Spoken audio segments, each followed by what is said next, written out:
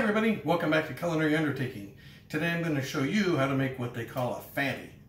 I didn't name it, don't ask me. But basically we're going to take a little roll of sausage that you get. We're going to make a little stuffing to put inside it. And then I'm going to show you how to make a, a bacon weave. And we're going to wrap that bacon weave around the sausage. Then we're going to cook it. Hoo, they're really good. Let me show you how to make it. Okay, what I have here is I've got a pound of thick cut bacon. We're going to make our bacon weave out of that. I've got one container of cream cheese. Here's my piece of pork, my little pork. Now this is just regular pork sausage. You could use whatever you want. Um, you can get hot, you can get the sage, you can get the maple, whatever kind of sausage you want. I've also got a little sharp shredded cheese I'm going to use in here. I've got a couple of serrano peppers I'm going to use. And then I'm going to top it off with a little barbecue rub once we get it all put together. Oven's done, but that's for something else. So what we want to do, we want to start with our piece of pork and we want to kind of flatten it out a little bit. Now I have it on here, I'm not going to cook it on this. I just want it for the non-stick uh, little pad that I'm going to use on. So we're going to flatten out our pork a little bit. Then we're going to put our cream cheese and our cheese in there, roll it back up. And you can use whatever you want for this. If you want to use your fingers like I'm doing, if you want to use a spoon, if you want to get out a piece of parchment paper and a rolling pin, whatever you like to do. And I want to keep it kind of in a rectangle shape here. You don't want to go too thin. Definitely you don't want to go any wider than your bacon here. So we'll just kind of flatten that out a little bit.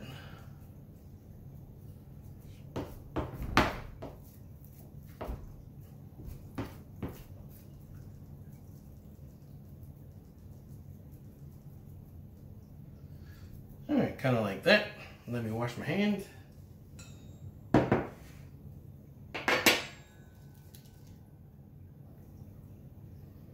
All right, so our pork's kind of flattened out into a rectangle. I've got my cream cheese. I'm gonna add some regular shredded cheese to it. And again, I'm using shredded cheddar. You can use whatever you want. You want to put a little pepper jack cheese in here. Whatever kind you want to put some mozzarella, some Colby, whatever you like. And then also, I'm going to shred up my peppers and mix those in there at the same time.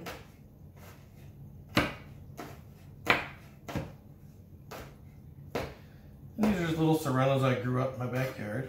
You can use a jalapeno, you can use whatever pepper you want. You can leave the pepper out if you don't want it. So like most of the recipes we've done so far on here that I've showed you, do whatever you want. If there's something you like, add it in here. If there's something you don't like, leave it out. You know, whatever you want to do, make these your own. That is the fun part of cooking. So add those in there. Now my cream cheese didn't get quite to room temperature, so I'm going to have to fight it a little bit here. But if you have the time to lay yours out ahead of time and let it get softened up to room temperature, it'll work a lot better. Okay, so once you get your cream cheese mixed up, we're just gonna add it to our pork here.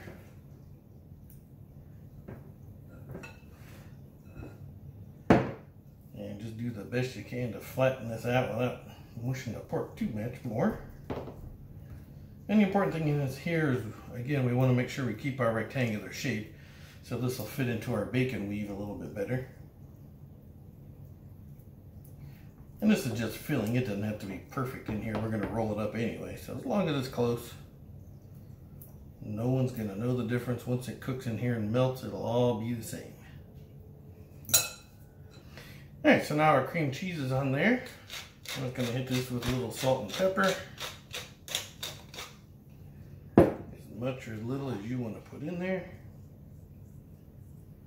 So that's going to work for me. And now I'm going to use my mat to sort of help me get this started. And we're just to roll this up, sort of like a little roll of sushi.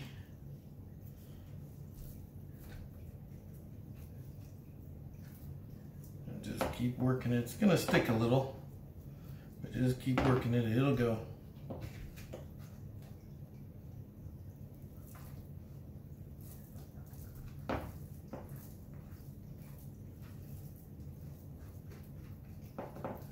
Don't let it win. You'll get there.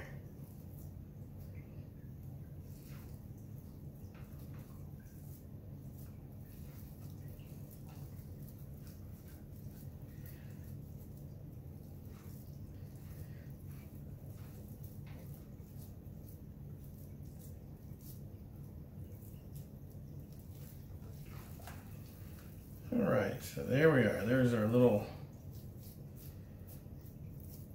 cheese stuffed pork roll. Now we're just gonna set that aside. Let me wash my hands and then I'll show you how we're gonna make our bacon weave to wrap this with. Okay, like I mentioned, I've just got one pound of thick sliced bacon here. And you can see I've already got five strips laid out. And to make our weave is really, really easy. You just take another piece of bacon and you want to lay as many strips out as it's going to take to equal the length of one. And then what you want to do is just start wherever you want and just take every other strip, peel it back like that. I'm going to start in the middle. You can start, some people start at the end.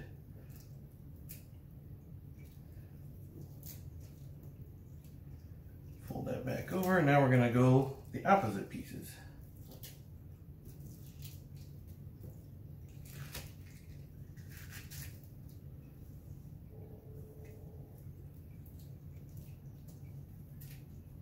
Now again, go back to the other two.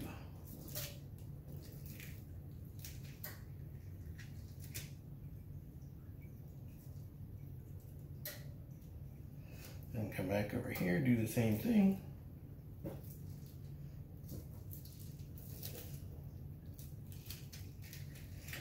Now I'm doing this on a piece of parchment paper and it's going to make rolling this a lot easier. Kind of like we used the mat to use that to roll up the roll.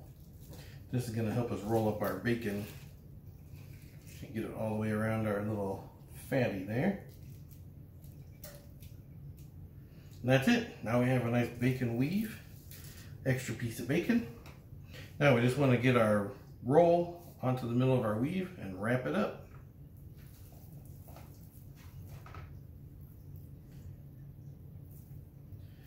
And make sure give yourself enough room so we can tuck the ends and the ends will cover with our bacon here. Our bacon, and ideally you want to end with a bacon seam on the bottom.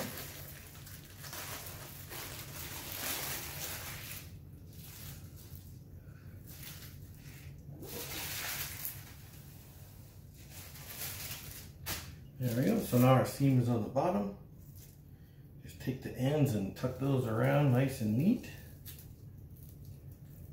As neat as you can for bacon anyway.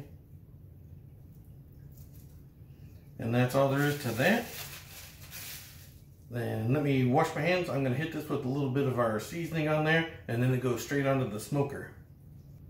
Okay, so I've just got a little bit of generic barbecue sauce kind of seasoning here. I'm gonna sprinkle on here. Use whatever you want. Whatever your favorite kind of rub or seasoning is. We're just going to give it a nice little coat like that. Get the sides a little bit. Now, I have the smoker set to 350. Obviously, you can do this in your oven. If you do this in your oven, I would highly suggest that you get a baking sheet like this with one of those baking racks on the top. And that way your bacon will sit up off the bottom and it'll get crispy on the bottom and all the way around the sides. So when I put this on the smoker, it's going to be right on the grilling grate. I'm not going to put it on a on a tray or anything. It's going to sit right on the grill. We're going to cook this. Keep an eye on it. You want to cook it to an internal temp of 165, so we'll be checking that. And I'll let you know how long that takes. I'm guessing probably somewhere between hour, hour and a half, and I'll just keep an eye on it. So we'll get this little guy on there, and when he's done, I'll bring you back and show you what it looks like. Okay, I just took the temp on our fatty and it's done, so let's go take a look at it. I'll show you how it looked on the smoker.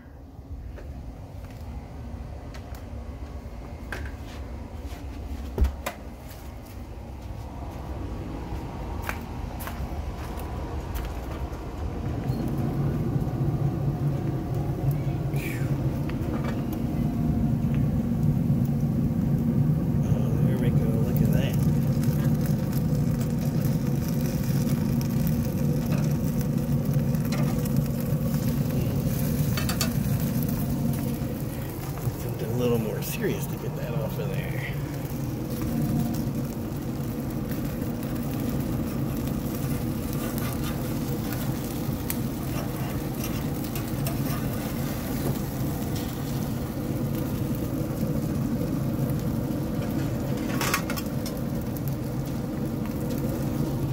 All right.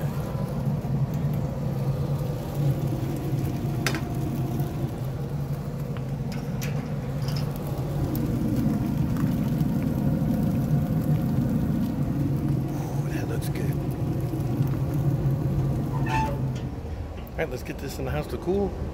And in a few minutes, we'll cut it open and dig in. All right, here we are. We're back. It's cooled down. I had it on the smoker for about an hour and 20 minutes. I pulled it off and it's been now 10 or 15 minutes. It's been sitting here cooling down. But look at that. Let's cut her open and see what it's like. I've made these before, so I kind of know what to expect. One thing I'm noticing is it looks a little deflated than my other ones have.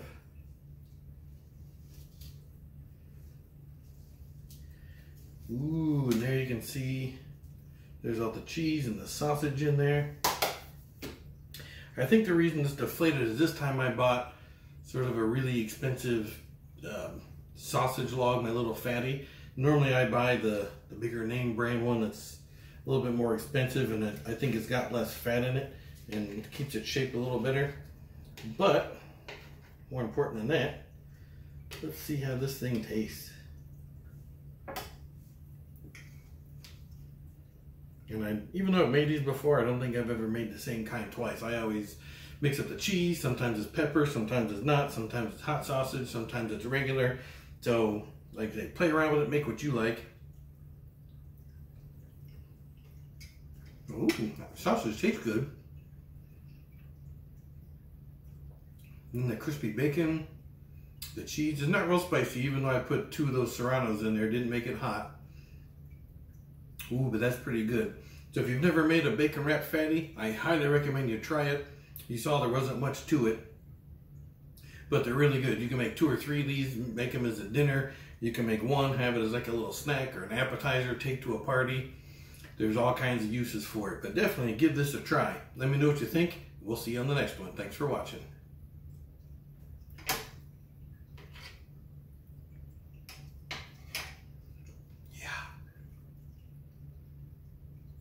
Mm.